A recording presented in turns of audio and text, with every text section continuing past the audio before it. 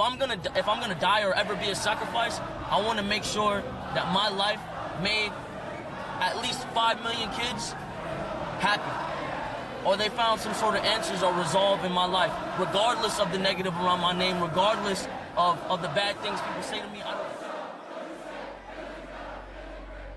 Jahseh Onfroy, also known as XXXTentacion, or as I like to call him X, is one of the most influential and popular rap artists of the new generation. He achieved this status in a very short amount of time, and whether you celebrate him or not, it's simply a fact that his music is a refuge for many people on this planet. Sadly, X was killed at the age of 20. In this video, I will explain how the perpetrators proceeded, what their motive was, and how they were ultimately caught. But before we start, I'd like to draw your attention to the YouTube channel of the podcast I do with Hip Hop Genius. Check out this channel if you're interested in my opinion, as there's almost daily content here. Subscribe to the channel, leave some love as this would be a great support for me and my bro Genius. Let's get started with the video. It's June 18th, 2018. X started his day normally by playing a round of League of Legends at 6.05 am. This round lasted until 6.27 am. As I mentioned, it was a day like any other for him because around 8 am, he worked on his music as usual. More specifically, on the beat for the song Chase Glass Shards, which eventually appeared on the album Bad Vibes Forever. This was the last song X actively worked on. Around 1 pm, he called his producer and told him he wanted to bring back his old style in his songs. At the same time, he had a tattoo retouched by his girlfriend Genesis, who became ill shortly afterward, so he only went with his uncle to buy a new motorcycle. His mother wanted to accompany him, but they had a FaceTime call at 3:11 p.m in which X asked his mother to go to the doctor with his girlfriend Genesis, which is why she did not come to the motorcycle store with him. Less than 10 minutes after this call, X entered a Bank of America branch on the way to the motorcycle store. His uncle waited outside the branch. X himself wanted to withdraw $250,000 in this branch.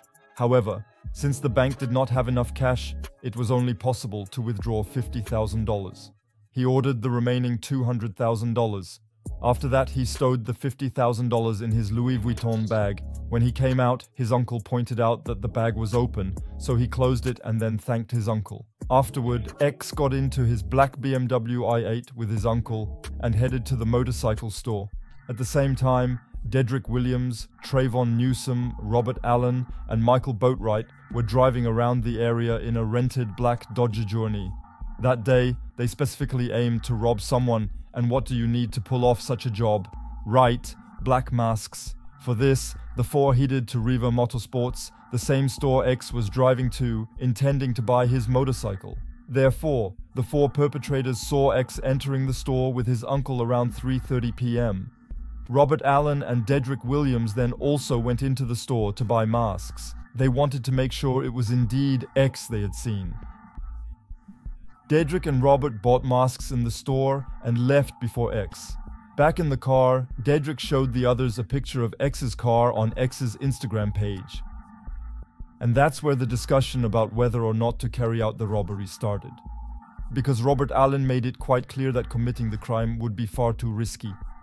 Especially since he and Dedrick were filmed by the store's surveillance cameras. That's why the others hesitated, everyone except Dedrick. He asked his accomplices if they were scared, and so the crime was ultimately committed. When X left the store around 4 pm and wanted to drive away, Dedrick, as the SUV's driver, blocked the exit from the parking lot. Newsome and Boatwright then left the SUV masked and armed to rob X.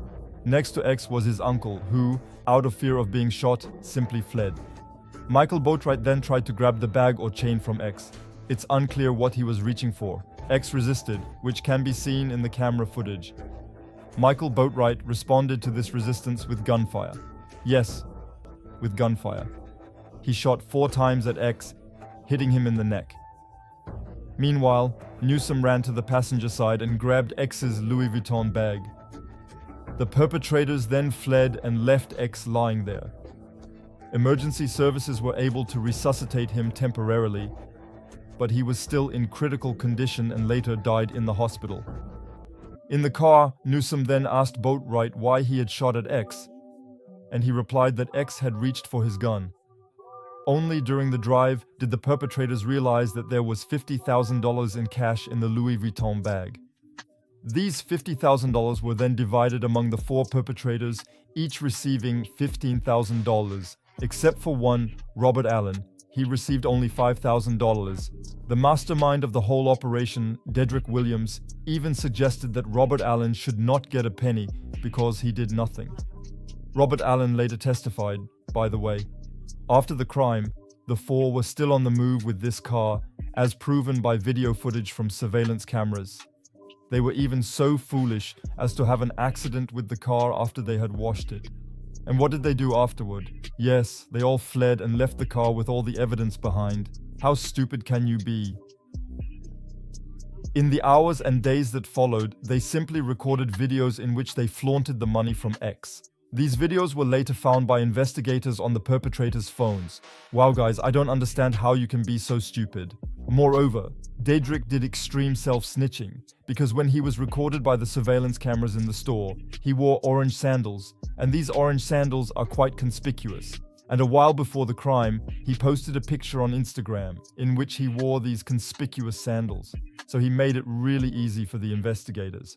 Patrick was later arrested during a traffic stop, and guess what this guy was wearing at the stop? Right. Those orange sandals. Moreover, the phone data of all perpetrators were evaluated, and they could prove that they were near the shooting scene at the time of the crime, making all statements from the perpetrators that they were sleeping at that time completely contradictory.